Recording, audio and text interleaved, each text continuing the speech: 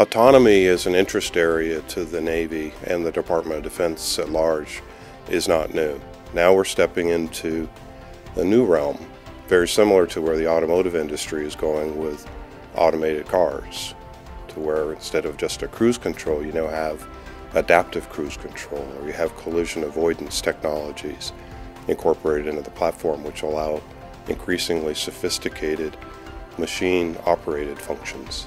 Automated velocity obstacle collision avoidance. Uh, it's a 2D collision avoidance approach um, using uh, velocity obstacles, which in short are geometric shapes in velocity space that tell us when we're going to run into something or not.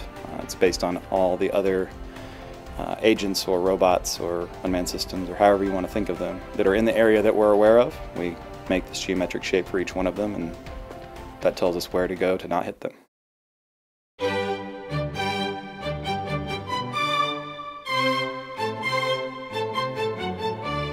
Turtlebots are a really amazing, commercially available, off-the-shelf product.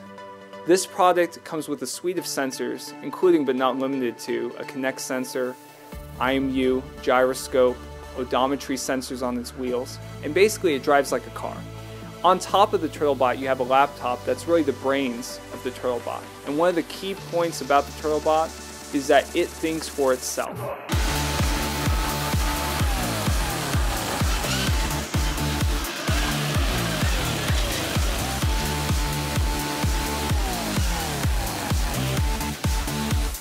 All the turtle bots that you see are their own autonomous agents. They are all intelligent, they all know what's going on, and they do the calculations, they do the processing, but they figure out what velocities will result in no collision. They use their Kinect sensor to get depth information about the walls and surroundings of the room that they're in.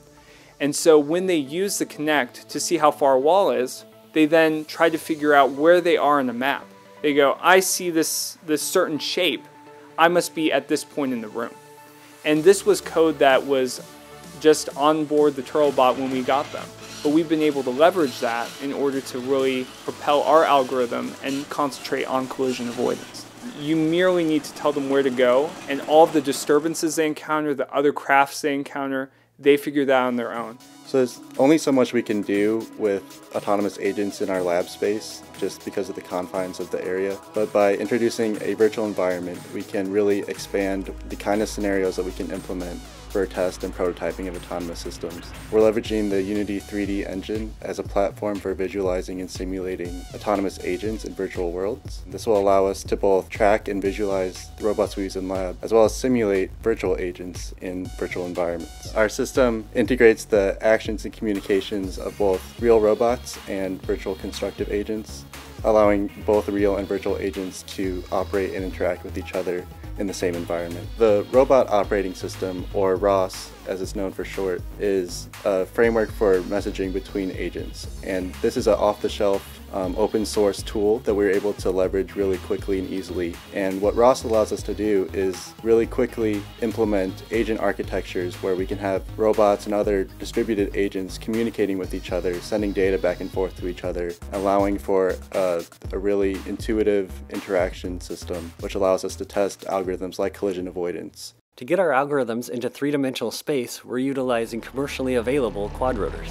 We want to be able to have the quadrotors communicate with the turtlebots and any other vehicles all in one large ROS environment.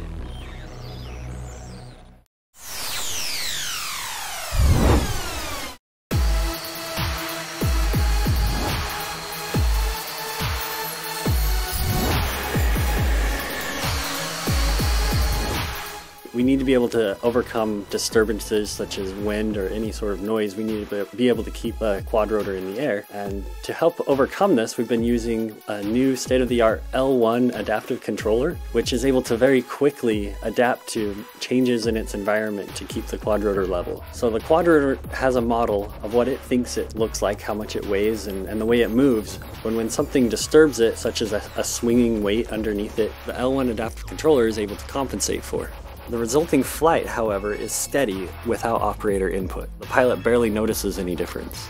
If you or I were to try this with a typical RC quad, it would become very difficult to fly and likely result in a crash.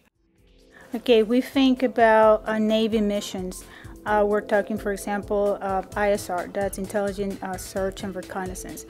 Uh, that implies that you have a navigation system, means of localizing yourself within an environment. Outside, you have GPS, but in an indoor facility like a, a, lab, you don't have that capability. So, by us acquiring the mocap, is going to let us offload that functionality to the mocap. So now we can concentrate on uh, you know, focusing on developing our own algorithms, you know, so instead of uh, developing an entire system, now we can have a modular approach to the research of, you know, autonomy.